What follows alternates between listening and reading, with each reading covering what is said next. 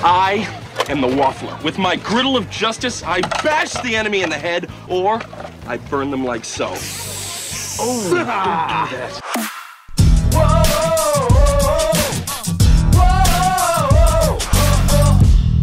You were a big fan of The Boys Season 1, very much looking forward to The Boys Season 2. Well, guess what? You are in the right place. Welcome to J-Buck Studios, your home for reviews, reactions, and ridiculousness. And we are fortunate enough here at J-Buck Studios to have gotten a screening of this series of Season 2 of The Boys for you. With Homelander going off the rails, a new superhero joins the Seven, shaking things up, all while Billy, Hughie, and the rest of the gang expose the truth behind Compound V and Vought International. So does Season 2 of The Boys pack all of the awesomeness that made Season 1 so special?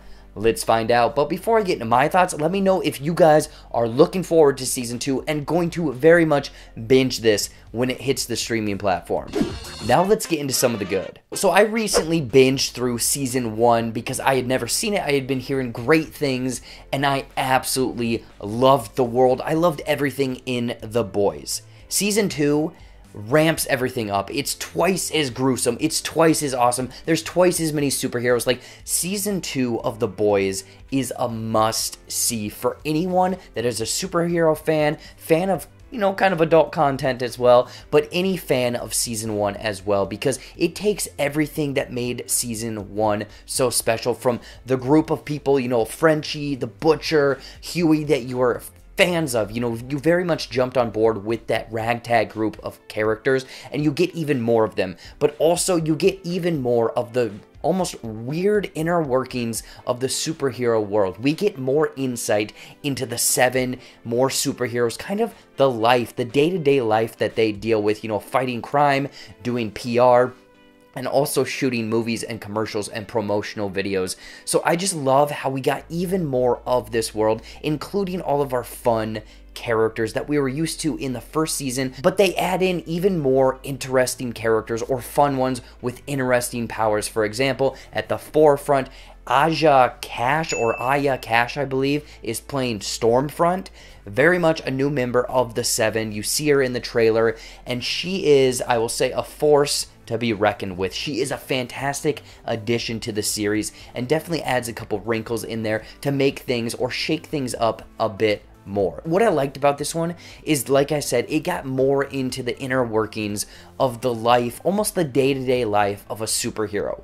And you can see the comparisons that these superheroes in this world are celebrities. And you can almost take away the superpowers, and this is just a show about the day to day life, the struggles that a celebrity has to go through. Like these superheroes are doing PR, they're running into controversies, they're having to go out and, you know, publicly admit certain things. It's them shooting movies, it's them dealing with social media, deep fakes, you know, memes, and kind of the, the just their image in the public. And also, a few other things like Scientology, for example. I won't go any further into that, but I like how they're very much almost this meta world where it's taking things from our actual world, putting it in this world, but putting its own twist on it, where a superhero is a celebrity and a celebrity is dealing with all of these things that very much kind of echo what we got from The Deep in season one.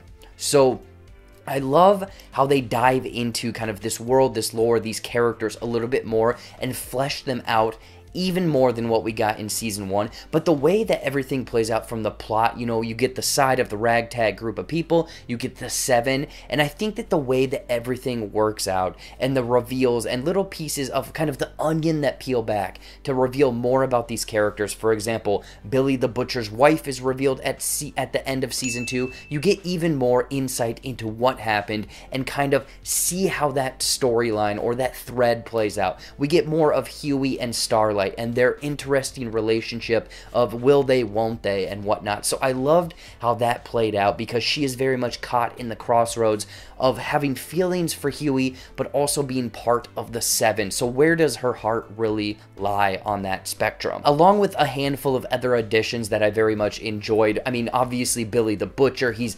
diabolical in the words of this show. He is fantastic really not an addition, but you know, bringing more of him into this storyline. Giancarlo Esposito, he comes in as another member of Vought, kind of a head, you know, a member, a high ranking uh, official at the company, and he brings this very stoic performance and he again he is a, a force to reckon with with everything he has done in any show and movie and whatnot. So bringing him into this was a nice addition. But then his dynamic or his relationship with that new Stormfront character, the new essentially superhero on the block, very much opens these doors and almost this interesting dynamic of how the Seven is then built in this hierarchy of things. I'm going to leave it at that, but bringing in all of these additions is phenomenal. But rounding this thing out for the positives, I mean, this is all of the gruesome, all of the intense action that we got from the first season. But again, I'm going to say even more. Like, this is heads exploding, faces getting ripped off, hands crumbling. If you liked the action and that kind of gruesome nature, which the special effects look phenomenal, if you liked that in the first season, don't worry, you're getting plenty of that in this one as well. But they do an interesting job of, like I said, playing with violence and dealing with real world aspects of how they're bringing it in, almost playing with the political spectrum and how superheroes, they're looked at and almost played in a way of the news cycle and how they are looked at as like active shooters in the United States and how kind of just the drowning effects of the news cycle dealing with superheroes in this world can really have an effect on a person. So I really liked that interesting look at certain things that are from our real world that are brought into this world of the boys. For example, one little tiny thing is like a school almost active shooter promotional video, like a training video. But instead of a shooter, it's a supervillain. And obviously, it's played into kind of like this sarcastic, cheeky nature with subtle humor but you can see the real world parallels and how this honestly relates to today.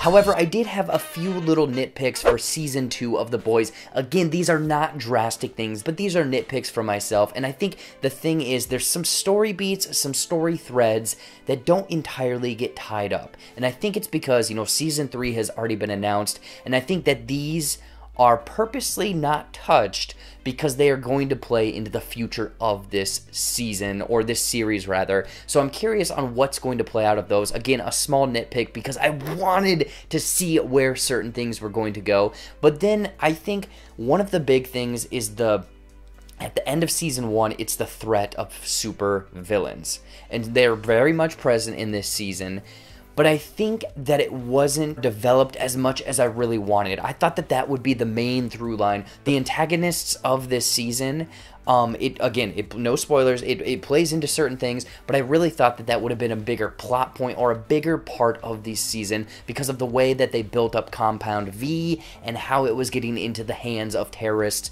and other people. Overall, season two of The Boys is absolutely diabolical, fantastic. Everything from the first season again ramped up in season two, with it featuring all of the fun-loving characters that you've grown to love, with adding in some brand new ones, a great look kind of real world aspects put into this world of celebrity, superhero, and almost like political aspects that deal in this world. Like everything is fantastic, plus that gruesome nature of things, but with a few nitpicks here or there and some story beats that I really wanted them to go a little bit more in, dive into the details a little bit more. I would highly, I repeat, highly recommend checking out season two of The Boys. Again, this comes out September 3rd. I believe it premieres on that date. Highly recommend it. Season 1, if you haven't seen it, go binge it right now so then you're prepared for Season 2. In closing, I'm going to give Season 2 of The Boys 4.5 out of 5 pairs of superhero underwear. So what did you guys think of season two of The Boys? If you've already seen this or now very much looking forward to it, you cannot wait to binge this on September 3rd. I want to know in the comments down below. Also, who is your favorite character in this world? I'm curious to hear that as well. Anyways, though, as always, thank you so much for watching. Watch some more videos up there or right over there, you know, brand new content every single week here on the J-Buck Studios channel. I don't know exactly what's coming the rest of this week. I'm sure some more Netflix movie review, so stay up to date on all of my social media down there. Follow this channel, like this video, subscribe to the J-Buck Studios channel, and until next time, up, up, and away!